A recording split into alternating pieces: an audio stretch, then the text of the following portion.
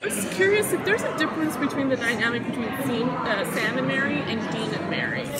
Absolutely. Um, how to explain that is going to be difficult, but I think uh, for me, what's most exciting for me about playing Sam with Mary back in the picture is that I feel like we never really saw Sam be a son. We saw him with his dad, but he wasn't like, "Hey, Dad," you know, like it was like, "Fuck you, Dad." It was never. It was contentious. As soon as Sam could get out of the house, he got out of the house.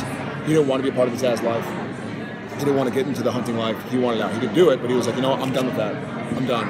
Um, so now we see Sam with his mom, who he doesn't have any ill will towards. He never really knew. And Dean knew mom, albeit for four years or whatever it was, but he has memories of mom. He has pictures of mom. He remembers the sandwiches she used to make, blah, blah, blah. Uh, Sam doesn't know that. He just knows that this is his mother and he loves her. It's his mother, but he doesn't know her.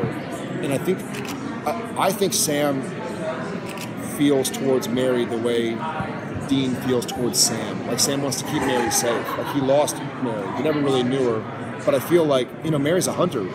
Um, but if they're going, if Sam and Dean are off on a hunt, Mom's not going to be like, "All right, guys, you know, call me when you get home. I'll have some Sam." She's going to want to hunt. She's a hunter.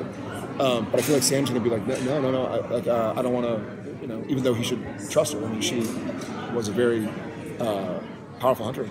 How are you? How I'm are you good. been? I didn't even see you. I'm Heidi. Wow, How are you? awesome.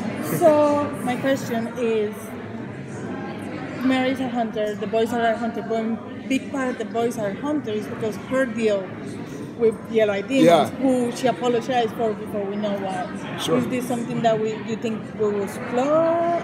I think so, yeah. Because the funny thing is, is Sam, like I was just saying, Sam blames Dad for all the hunting stuff, but really you could argue it was Mom's fault. I mean, she was the hunter, right? Uh, it was the Campbell family, not the Winchester family, um, and she kind of it wasn't her fault, but it, it was her lineage that led us to where we are now. That having been said, I think the boys know that this is their life and this is what they're good at. This is what this is the way they can best help the world, um, and so I think they're they're great. It's like a double-edged sword, but they're grateful that they're in this life because they can do it better than anybody else.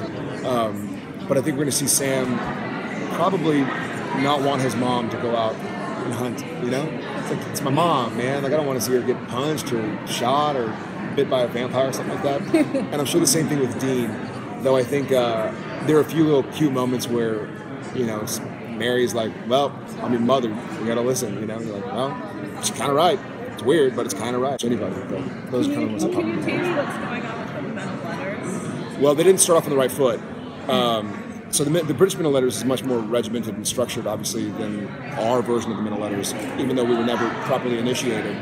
So I think they they know certain parts about the Winchesters that are true, but just look wrong on paper. Like we started the apocalypse, you know, we let Lucifer out of his cage. Looks bad on paper, and the, and the Brits aren't happy about it. Um, but I, I hope we can come to an understanding.